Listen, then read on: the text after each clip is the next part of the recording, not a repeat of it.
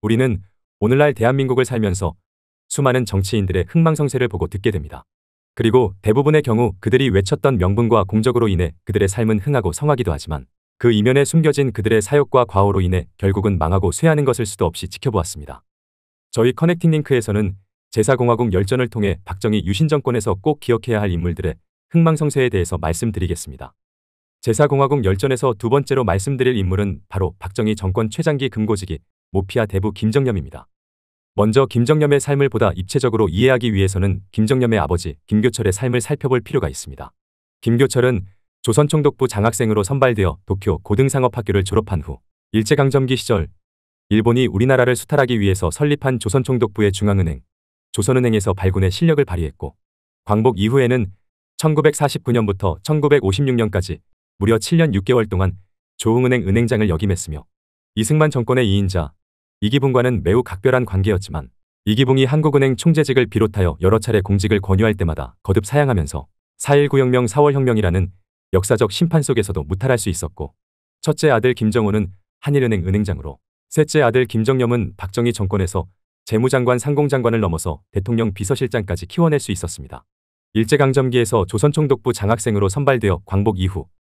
이승만 정권에서 7년이 넘도록 조흥은행장을 지낸 것만으로도 손꼽힐 커리어지만 이승만 정권의 2인자 이기붕과는 매우 각별한 관계를 맺었으면서도 크게 눈에 띌 월권행위들이나 불법행위들을 자행하지는 않으면서 자식들에게는 은행권의 각종 요직들을 차지할 수 있게끔 후광 역할을 했었던 김교철의 삶은 김정념의 삶에서도 나침반과 같은 롤 모델 그 자체였습니다. 김정념도 아버지 김교철처럼 일제강점기 당시 일본으로 유학을 다녀온 후 조선총독부 중앙은행 조선은행에 입사하며 은행인의 길을 걷기 시작했고 광복 이후 조선은행이 한국은행으로 변모하는 과정 중에서도 당시 조선은행 조사부장 장기영 등과 함께 한국은행법을 준비하는 등 핵심 참모 역할을 했으며 이승만 정권에서는 당시 화폐 관련 최고 전문가로서 재무장관 백두진의 지휘 아래 한국은행 제2대 총재 김유택과 재무부 이재국장 송인상 등과 함께 화폐개혁을 주도하는 등 일제강점기에서부터 광복 이후 미 군정기와 이승만 정권에 이르기까지 조선은행과 한국은행의 핵심 주류 중에서도 주요 인물로 거듭났습니다. 김정념은 1955년 8월. 우리나라 대한민국이 국제금융기구 IMF와 IBRD에 가입할 때에도 맹활약하였는데 당시 한국은행 기획조사과장이었던 김정념은 미국 의회 도서관을 샅샅이 뒤져서 찾아낸 일본의 고서적들과 경제연보들을 바탕으로 촘촘한 논리구조 위에 각종 통계 수치들을 산출하여 IMF와 IBRD 가입에 필요한 출자금의 근거 자료들을 마련했고 이런 김정념의 개인기에 당시 IMF 조사부 직원들조차 혀를 내둘렀다는 일화는 지금까지 금융권에서 전설처럼 전해오는 대표적인 에피소드로 대한민국의 중앙은행인 한국은행 설립에서부터 화폐개혁의 국제금융기구 가입까지 우리나라 경제사에서도 굵직굵직한 사건들의 그 한가운데에 자리하고 있었습니다. 아버지 김교철의 삶처럼 은행원으로서 안분지족하며 한국은행에서 승승장구하고 있던 김정념의 인생에도 큰 변화가 있었으니 아버지와 아내 등의 만류에도 불구하고 1959년 한국은행을 퇴사하고 모피아의 핵심 요직이라 할 수 있는 재무부 이재국장으로 새롭게 커리어를 시작한 것입니다. 아버지에 이어 은행에서 근무하는 것을 천직으로 여겼던 김정념이 은행원으로서의 경력을 마무리하고 모피아의 행동대장격인 재무부 이재국 장직으로 옮긴 것은 당시 우리나라 대한민국의 금융 시스템이 현대적으로 다시 태어나는 과정에서 촉발된 조선총독부와 미 군정청을 거친 대한민국 재무부와 조선은행을 거친 한국은행 그리고 조선식산은행에서 변모한 한국산업은행으로 추격되는 알력 다툼과 이 세 조직들의 치열한 암투 속에서 그간 김정념이 맺어왔던 인맥들이 복합적으로 작용하면서 일어난 결과로 당시 그 어떤 분야보다 순혈주의가 극심하게 작동했던 금융권, 특히 재무부와 한국은행 그리고 한국산업은행 사이에서 선대에서부터 대를 이어가며 은행원으로서 화려한 커리어를 이어온 데다 특히나 순수 조선은행 한국은행 출신인 김정념의 존재는 조선식산은행 출신으로 당시 각각 재무장관과 한국은행 총재를 역임하고 있던 송인상과 김진영에게는 자신들의 권위와 권한을 드높일 좋은 재료였기에 당시 금융권의 막강한 권력을 휘두를 수 있는 재무부 이재국장이라는 요직을 제안한 것이고 김정념도 이를 받아들이면서 그의 인생에도 큰 변화가 시작된 것입니다. 역대 이재국장 총 32명 중 절반에 가까운 15명이 장차관까지 올랐고 가장 안 풀린 케이스가 금융기관장이나 금융 관련 협회장일 정도로 모피아의 힘의 원천이었던 재무부 이재국의 수장직을 이승만 정권 말기인 1959년부터 맡게 된 김정념은 자신의 상사였던 제구대 재무장관 송인상과 한국은행 제3대 총재 김진영 등이 모두 3.15 부정선거 등 각종 부정부패에 연루되어 옥살이 한 것과는 대비되게 자신의 아버지 김교철처럼 특별한 월권 행위를 한다거나 불법 행위를 자행하지 않았기에 국민들의 역사적인 심판이라 할 수 있는 4.19 혁명의 칼날도 피할 수 있었고 특히나 이승만 정권에서 단행된 화폐개혁에 깊숙이 관여했던 관련 분야 전문가로서 1962년 박정희 군정에서 추진한 디노미네이션 과정에서도 두각을 나타내며 당시 국가재건 최고회의 의장 박정희의 신임을 얻게 되면서 화폐개혁 직후 재무부 차관으로 발탁되었습니다. 바로 이 시점부터 실력이 출중한 실무자가 아닌 고위관료로서의 김정념의 진면목이 나타나기 시작합니다. 김정념은 재무차관으로서 국민은행, 대한손해제보험, 한국증권거래소 설립위원장 등을 겸임하며 박정희 군정의 경제정책에 적극 관여했는데 공교롭게 바로 이 시점에 박정희 군정은 중앙정보부 등을 동원해 증권시장에서 주가 조작에 나서는 등 불법 정치자금을 조성하는 것에 여념이 없었고 증권파동, 워커힐호텔 사건, 새나라 자동차 사건, 파친코 사건 등 일명 4대 의혹을 통해 마련한 검은 돈으로 민주공화당을 창당한 후 제5대 대선과 제6대 총선에서 연승하면서 셀프 민정이양에 성공했습니다. 박정희 대통령은 자신의 군정에서 재무차관으로서 성실히 일한 김정렴을 이번에는 상공부 차관에 임명하며 한일협정에 대한 업무를 맡겼고 또 다시 공교롭게 우리 국민들은 육삼항쟁 등을 통해 박정희 정권의 저자세 외교 굴욕외교에 대해 반대 목소리를 높일 때 김정념은 박정희 정권의 상공차관이자 한일회담 일반청구권 수석대표로서 지금까지도 논란이 되고 있는 1965년 한일기본조약 체결 과정에 최선봉에 있었습니다. 이러한 과정들을 통해 박정희 대통령의 마음에 쏙 들은 김정념은 한일협정 직후 재무장관에 임명되며 과거 한국은행에서 자신의 상사였던 경제기획원장 장기영과 함께 경제개발 5개년 계획 등을 통해 우리나라 대한민국 경제 발전을 이끌었습니다. 그러나 이번에도 공교롭게 김정념이 재무장관 재직 당시 대한민국 최고재벌 삼성과 박정희 정권이 유착하다 발각된 사카린 밀수 사건이 터졌고 대한민국 재무장관으로서 책임지고 국민들에게 사과하기는커녕 삼성 계열사인 한국비료 일개 직원의 개인적 일탈이라며 꼬리 자르기 하기 바빴고 끝까지 뻔뻔하게 모르쇠로 일관하다가 국민들은 날 보고 정부에 대해 이렇게 말을 하라고 했어. 똥이나 처먹어 이 새끼들아!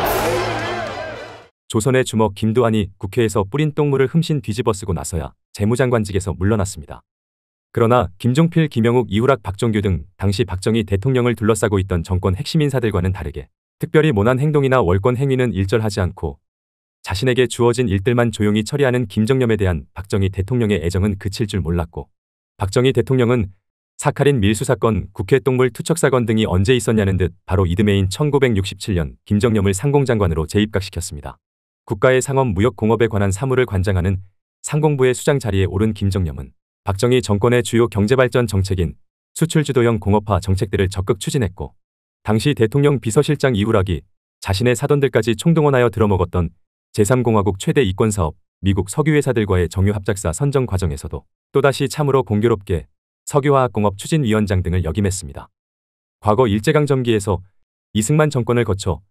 윤보선 장면 정권과 박정희 정권에 이르기까지 조선은행 대리에서부터 한국은행 과장 차장과 재무부 이재국장, 재무차관, 상공차관 등을 역임했고 1966년에는 대한민국 제21대 재무장관으로 국가의 경제정책과 재정 및 예산 세금 등에 관련된 업무를 1967년에서부터 1969년까지는 대한민국 제23대 상공장관으로 국가의 상업 무역 공업에 관한 사무를 관장하면서 당시 우리나라 대한민국 경제 발전에 관련된 거의 모든 분야를 섭렵했다고 해도 과언이 아닌 김정념은 김영욱과 이후락 등이 모두 주어진 공직에서 물러나야 했던 1969년 10월 삼성 개헌 직후 대통령 비서실장에 임명되며 명실상부 박정희 대통령의 최측근으로 거듭났습니다. 삼성 개헌 직후인 1969년 10월부터 제10대 총선 직후인 1978년 12월까지 무려 9년 2개월 동안 우리나라 현대사에서 최장기 대통령 비서실장을 역임한 김정념은 청와대 비서실을 구성하는 수석비서관, 비서관, 행정관들은 모두 대통령의 그림자처럼 행동해야 하고 대통령이란 큰 나무의 그늘에서 존재가 있는 듯 없는 듯 묵묵히 일해야 한다는 기치를 내걸고 문고리 권력이라고 말하기 무색할 만큼 본인뿐만 아니라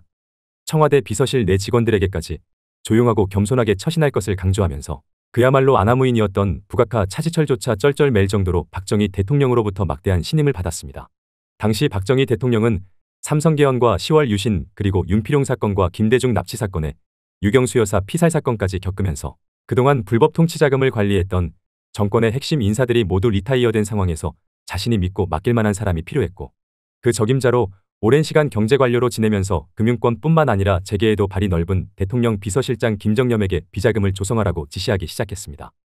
이렇게 박정희 대통령으로부터 친명을 받은 김정념은 연중 추석과 연말 두 차례 당시 30대 기업주들을 개별적으로 비서실장실에 불러서 적게는 수천에서 많게는 수억 원씩 거둬들였고 그 규모는 당시 돈으로 유신 초기에는 연간 20억에서 30억, 유신 말기에는 연간 50억에서 60억 원에 이를 정도였으며 이렇게 조성한 비자금은 달마다 민주공화당과 유신정우회에 수천에서 수억 원씩 들어갔고 명절이나 연말에는 전국 방방곡곡 지방 공무원들 뿐만 아니라 일선 군 장병들에게까지 격려금조로 수십에서 수백만 원씩 뿌려졌습니다. 당시 청와대 비서실장실로 비자금을 바치러 오는 기업 총수들은 속칭 큰 봉투와 작은 봉투로 별도의 자금까지 준비해 왔는데 큰 봉투는 박정희 대통령을 위해 작은 봉투는 대통령 비서실장이자 비자금 접수 창구였던 김정념을 위해 가져간 것으로 김정념은 기업 총수들이 작은 봉투를 자신에게 은밀하게 건넬 때마다 바깥의 비서실 직원들까지 들을 수 있도록 큰 소리로 사무실 운영비가 들어왔다 외쳤고 이러한 김정념 특유의 처세로 무려 9년이 넘도록 청와대 금고지기 역할을 지속할 수 있었습니다. 김정념 본인의 말로 자신이 비서실장으로 일한 9년 2개월이 넘는 기간 동안 박정희 대통령이 수석 보좌관 회의를 주재한 것은 10번도 안 될 정도로 본인이 거의 모든 청와대 회의를 주재하며 박정희 정권의 대표적인 업적이라 할 수 있는 대한민국 경제 발전의 토대가 되었던 수출주도 공업화 정책, 중화공업 동료 정책 등 각종 산업 고도화 정책들 뿐만 아니라 산림녹화 새마을운동 의료보장제도 등 사회 발전 정책들까지 입안하고 추진하는데 큰 기여를 한 것은 분명하지만 재무차관 당시에는 박정희 군정이 불법 정치자금을 조성하기 위해 벌였던 초대형 배임 횡령 사건인 4대 의혹, 상무차관 당시에는 우리 국민들이 길거리에까지 나와 목소리를 높여 반대했던 굴욕 외교의 상징인 한일협정, 재무장관 당시에는 박정희 정권과 최대재벌 삼성 간의 노골적인 정경유착이 만천하에 드러났던 사카린 밀수 사건, 상무장관 당시에는 정유산업 등 각종 이권 사업에 직간접적으로 관여했던 각종 정황들을 비롯하여 무려 10년 가까이 재임했었던 박정희 대통령 비서실장 때에는 당시 30대 기업들을 상대로 비자금 접수 창구 역할을 하며 민주주의의 근간인 각종 선거에 개입하거나 지방 공무원 조직과 일선 군부대에까지 살포했던 불법 통치자금을 관리하는 청와대 금고지기를 자임하는 등 자신의 입신양명을 위해서 박정희 정권의 흑역사에 대해 묵인했거나 동조, 더 나아가 주도했던 그의 삶의 어두운 면에 대해서도 꼭 기억해야 할 필요가 있습니다. 김정념의 커리어는 1978년 12월 제10대 총선에서 집권여당 민주공화당이 야당인 신민당에게 전체 득표율에서 밀리는 충격적인 성적표를 받기까지 대한민국 경제 성장의 대부이자 박정희 유신 정권의 비자금 접수 창구 청와대 금고지기로 10년 가까이 박정희 대통령과 함께 청와대에서 이어졌고 1979년에는 주일대사로 임명되면서 박정희 군정에서부터 11.6이 터질 때까지 줄곧 공직 생활을 이어갈 수 있었으며